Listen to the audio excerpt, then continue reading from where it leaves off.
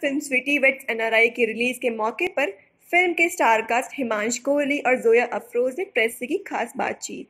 दोनों ने अपने किरदारों के बारे में बताया। स्वीटी सेकंड फ़िल्म में टाइटल रोल मिलना I think it's a very huge and a big deal and I wanted to do a character जो बहुत ही लाइट हार्टेड हो क्योंकि मेरी पहली मूवी में बहुत ही सीरियस रोल किया था मैंने. And as a 22 and as a 23 22 23 year old you want to do a character which will connect with the youth और जो ऑडियंस uh, जिससे कनेक्ट कर पाया. और uh, मेरे जो जितने भी फ्रेंड्स हैं सब uh, उस uh, मेरे जितने भी सेम उम्र के लोग हैं उससे कनेक्ट कर पाए. तो Sweety was this character and Sweety को करने में बहुत मज़ा आया। जब स्क्रिप्ट पढ़ी थी uh, तभी पता चल गया था कि बहुत मज़ा आने वाला है because she is she is crazy she is over the top और बहुत डिमांडिंग है एंड uh, बहुत डिमांड्स है उसकी और उसको झटपट शादी करनी है। तो बहुत ही इंटरेस्टिंग कैरेक्टर था एंड uh, इसीलिए इस मूवी में ऑब्वियसली uh, इस मूवी को किया मैं। फ़िल्म के बारे में बताते हुए इन्होंने कहा कि फ़िल्म एंटरटेनमेंट बेस्ड है। Uh, I'm playing an urban Gujarati boy over here, and I'm playing a boy who's uh, from two, 2017. आज का लड़का है बहुत ही ग्लोबल है बहुत ही फन है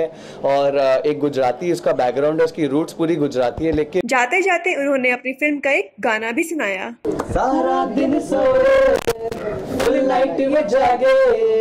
सारा दिन सोए फुल नाइट में जागे। है नगदी है रानी रात दियो दिल लगी कुड़ी। दिल लगी नन्ना दिल दिल लगी ओ दिल लगी कुड़ी गुजरात दियो दिल लगी कुड़ी। दिल लगी कुड़ी गुजरात दी।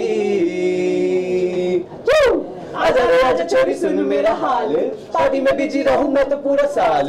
डैडी जी रहे फुल परेशान मेरे तक मम्मी जी बोले, घर आजा मेरे लाल। आई डोंट वांना गो होम क्योंकि हम चली। पूरी बोतल पिए बिना मिले ना तसल्ली ऐसे में तू ही बता, कौन जाए घर? बेबी तेरी जैसी कुड़ी जब मिल जाए कल्ली। ऊपर से बोलती, जो केम छो सुन के हार्ट वाली बीट बढ़ जाती है। आँखों में आके डाल के जो पिला दे पैक बाय गॉड दारू ये डबल चढ़ जाती है। डबल चढ़ जाती है।